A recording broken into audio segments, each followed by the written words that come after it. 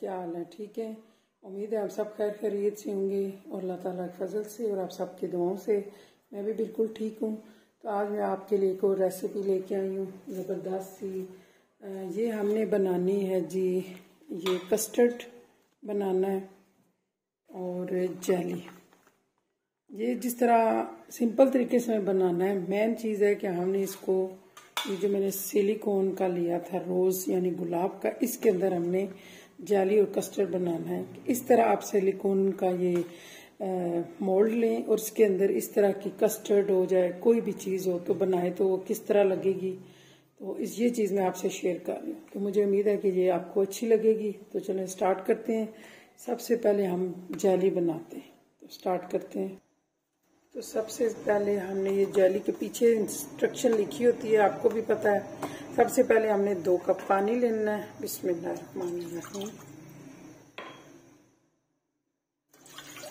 दो कप हमने पानी लिया।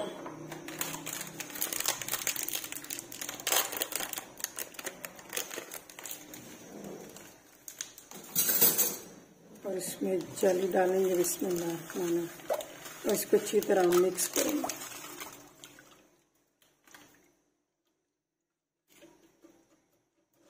इसको अच्छी तरह हमने मिक्स करना है और एक दो उबाले आएँगे।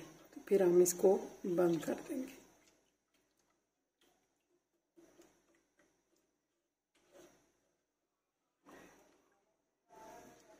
अब हमने इसको एक दो उबाले आने तक इसको पकाना है। फिर मिलते हैं उबाले आने तक। ये देखिए, जल्दी में अच्छी तरह उबाल आ गए अब हमने नीचे से चूल्हे का फ्लेम बंद कर देना है। और इसको हमने, वो जो रोज़ का मोल्ड है, उसके अंदर हमने शिफ्ट करना है। अब हमने इस मोल्ड के अंदर ये स्टेनर रखना है और ये इसके अंदर शिफ्ट कर देना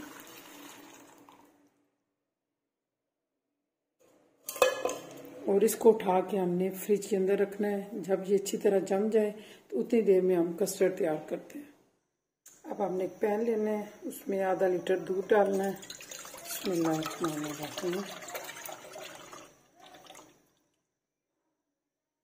आधा लीटर दूध है और इसमें मैं हाफ़ कप, यानी कि छः टेबल स्पून हमने इसमें चीनी के ऐड करूँगी। तो आप अपने हिसाब से मीठा कम ज़्यादा कर सकते हैं। और इधर मैंने ये छोटा कप मैंने दूध का लिया है। इसमें ये जो कस्टर्ड पाउडर है, ये हम ऐड करेंगे। कस्टर्ड मैंने थिक बनाना है तो इसलिए मैं कस्टर्ड पाउडर पाँच टेबल स्पून इसमें कस्टर्ड पाउडर के ऐड करूँगी।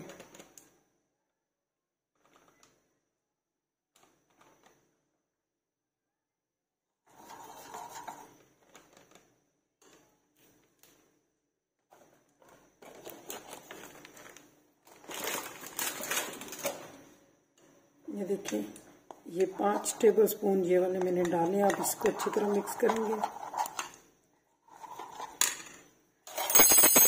ये इधर हमारा दूध, इसके अंदर मैंने चीनी डाल दी है। ये मेल्ट हो रही है चीनी भी और इसमें उबाल आ जाएगा जब इसमें उबाल आएगा तो फिर हमने ये कस्टर्ड पाउडर इसके अंदर ऐड करना है। इसको हमें अच्छी तरह मिक्स करना है।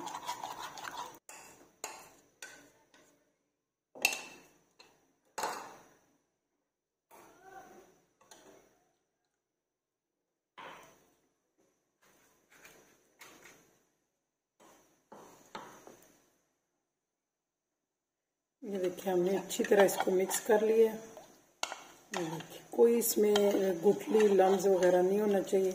आप इसको जो चाय पोनी होती है, उसके साथ पुन लें।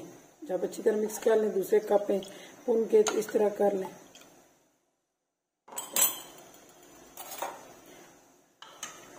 ये देखिए, दूध में उबाला आना शुरू हो गया। ये जब दूध हमारा ऊपर आएगा तो हम इसके अंदर कस्टर्ड डाल देंगे। ये देखिए, दूध में उबाला आना शुरू हो गया। है अब हमने ये जो इसके अंदर डालना है, बिस्मिल्लाह सात सात चम्मच को हिलाते रहना है। हमने थिक सा बनाना है, गाढ़ा सा। बिस्मिल्लाह अब हमने इसको हल्की आँच पे एक दो मिनट पकाना है। बिल्कुल हल्की आँच पे।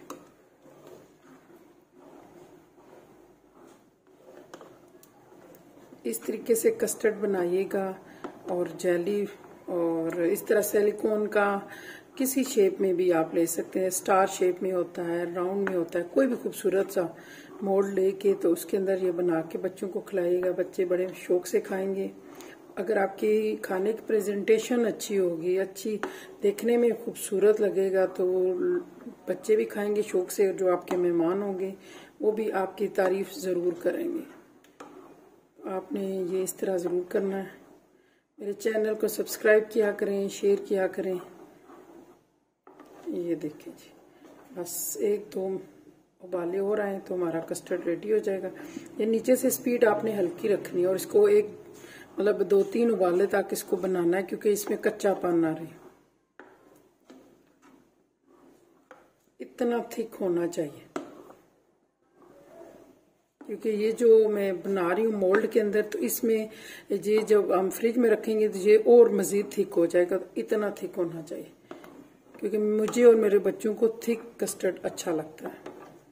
कई तरह के कस्टर्ड बनते हैं तो इनशाला ज़िंदगी रही तो मैं और कस्टर्ड के तरीके भी आपको बताऊँगी बनाने के। वो भी बड़े इजी मेथड से बनते हैं और मुख्तलिफ़ शक्लें शेप्स चेंज करके, मुख्तलिफ़ उसमें चीज़ें ऐड करके वो किस तरह बनते हैं तो इनशाला वो भी मैं फ्यूचर में आपको बताऊँगी। तो ये देखें जी हमारा कस्टर्ड रेडी हो गया है। अब मैं नीचे से फ्लेम को बंद करती हूँ और इसको थोड़ा सा ठंडा होने हो जाए तो फिर हम इसको, जो जैली हमने जमाई उसके अंदर ऐड करेंगे। ये देखिए, जैली हमारी जम गई है। अब ये कस्टर्ड हम इसके ऊपर डालेंगे।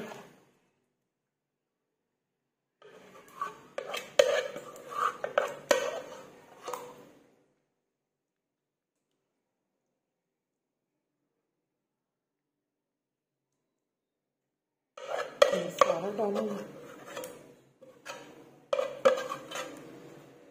ये अब इसको हमने आधा घंटा फ्रिज में रखना है। जब ये अच्छी तरह जम जाएगा तो हम फ्रिज से इसको निकाल के फिर मैं आपको दिखा तो अब मैं इसको फ्रिज में रखने लगी आधे घंटे के लिए। ये देखें जी, हमारा ये कस्टर्ड अब हो गया ठंडा। अब हम इसको निकालते हैं। बसमीम ये देखिए जो, हमारा ज़बरदस्त था। ये जेली जो है बिल्कुल रोज़ बन गया है, लगता है गुलाब का फूल है। तो ये आपने इस तरह रोज़ जेली कस्टर्ड बनाना है और अपने बच्चों को खिलाना है। मुझे उम्मीद है उनको भी बड़ा पसंद आएगा। देखने में भी खूबसूरत है और खाने में भी ज़बरदस्त होगा।